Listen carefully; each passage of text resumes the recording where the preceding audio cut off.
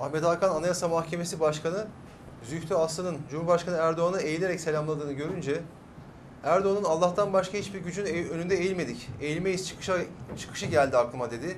Şöyle devam etti. Zühtü Bey de yarın öbür gün ben Allah'tan başkasının önünde eğilmem dese önüne bu fotoğrafı, fotoğrafı koyacaklar.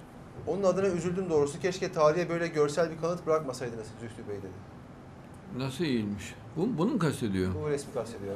Çok ayıp olur mu? Devletin e, lideri, cumhurun lideri hürmeten hafifçe eğilmiş oluyor. Yani dimdik durulmaz. Yani bir nezakettir o. Yani çok makul olan bir şey. Bir hürmet gösterisi. Yani ben zannettim rüküye gitti falan iyice eğildi. Öyle bir şey yok. Kısaca bir herkes herkese yapar bunu. Yani Tayyip Hoca bütün ömrünü İslam'a, Kur'an'a hasretmiş bir insan. Ve onun makamına saygı gösteriyor, şahsına da değil. Göstertilen saygı, makama saygı. Cumhurun başı. Orada bir hürmet göstertiyor. E, onun huzuruna gelenler de ona aynısını yapıyorlar. E Tayyip Hocam da iki büklüm oluyor yaşlı amcaların elini öperken. Annelerin eline kapanıyor. Bu bir saygıdır. Evet dinliyorum. E, dediğiniz gibi Cumhurbaşkanı Erdoğan Çatalca sınırı içerisinde bulunan öğrenci köyünü ziyaret etti Adnan Bey. Hmm. Ve ziyarette de halkta olan insanlara sarıldı. Ona dair fotoğraflar var onları gösterebiliriz. Hayır Cumhurbaşkanı herkesin elini öpüyor oluyor da iki büklüm oluyor annelerin yanında. Ona saygı niye çok görülüyor yani?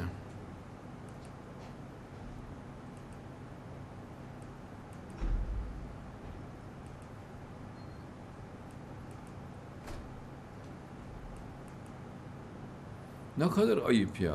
Ne kadar ayıp yani. Köydeki bazı hanımlarla da oturup sohbet etti. Hayır kardeşim ya Türkiye Cumhuriyeti'nin cumhurun başı. Yani makama saygı diye bir şey yok mudur? Yani şahsına da saygı duyar, makamına da saygı duyar. Şahsı da tertemiz nur gibi Müslüman. Müslüman olarak da sevebilir, saygı duyabilir. Ayrıca oradaki hürmet, tazim, makama. Cumhurbaşkanımızın bazı fotoğrafları vardı. E buyur. Al, buyur. İki büklüm olmuş işte. Rukiye kapanmış. Al anneye ne kadar iki büklüm. Cumhurun başı. E buyur rüküde. iki büklüm olmuş. Saygı hürmet gösteriyor. E bütün ömrünü İslam'a Kur'an'a vermiş bir insan. Nur gibi Müslüman. Bütün hayatı çileyle geçmiş. Allah cumhurun başına geçirmiş onu. Sen ona hafif bir saygıyı bile çok görürsen hafifçe ya nezaket her memur yapar bunu. Her memur her memura yapar. Hürmettir bu ya. Hoş geldiniz efendim. Bir parça iyidir insan. Yine birkaç fotoğrafı daha vardı Cumhurbaşkanımızın. E buyur. Bu ne bu? Cumhurun başı bu, cumhurun başı. Bak görüyor musun? Bak.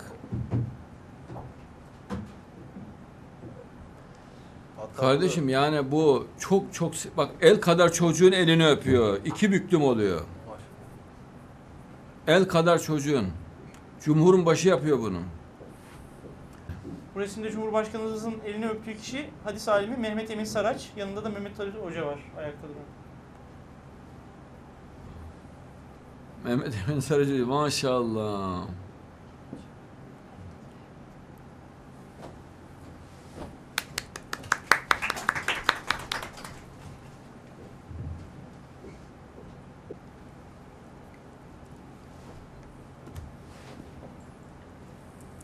Mehmet Emin Saraç hocamız ahir zaman evliyalarından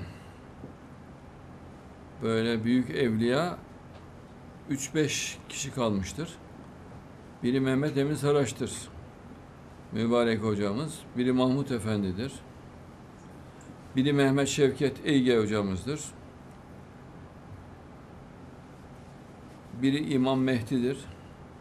Biri de İsa Mesih.